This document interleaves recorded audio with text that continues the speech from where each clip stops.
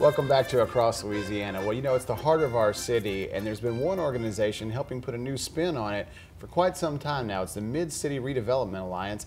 And here to tell us all about the exciting things they have coming up is Evelyn Ware Jackson. Welcome back to the show. Thank you. Thank you for having me. We love this organization and we love the great work you do. Tell us about some of the things you have coming up for well, Mid-City. You know, Mid-City's been around for a long time, over 20 years now.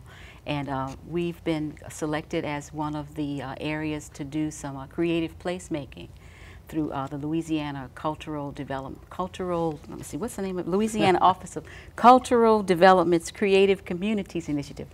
Mouthful. That is a mouthful. but we will be doing some creative placemaking and um, we'll be doing some pole painting later and um, just ways to brand Mid-City as the cultural district that it is.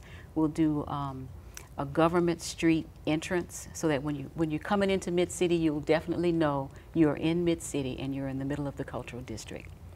So. It's such a, you know, it's an area that already has so much character now and, and hosts so many great events. I know, you know, there's a whole project dedicated to getting that going. Tell me about that. Mm -hmm. Well, you know, you think about Mid City, the first thing you think about is um, uh, the white white light nights and everything that we do in the in the fall and in the spring.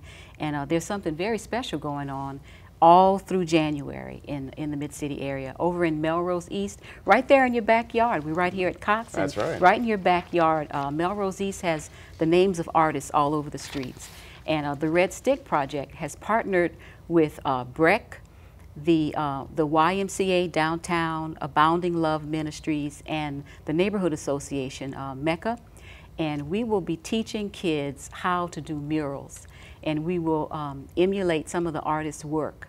Like uh, at the building, at the BREC Sci Park building, we will be placing uh, something that may look like a Rembrandt because Rembrandt runs right behind the BREC Park. Sure so does. on that building, we will be teaching kids how to produce murals and the first one will be on, uh, on that building.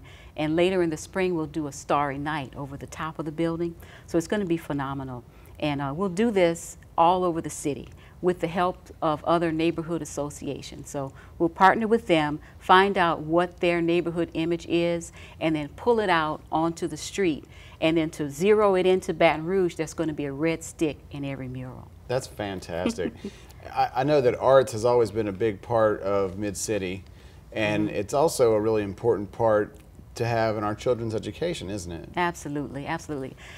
Our children need ways to um, to perform. They, you know, I think sometimes kids are over excited and you know th sometimes they cause trouble in classrooms because they need a way to express themselves, and the arts does that. And one of the things that the Red Stick Project is doing with um, a particular school that no longer has an arts program is um, we'll, we'll, have those kids from um, Broadmoor Middle working at Sci Park to help produce those murals, and uh, that way they'll have a way to express themselves and really give ownership to their neighborhood and take ownership of their neighborhood.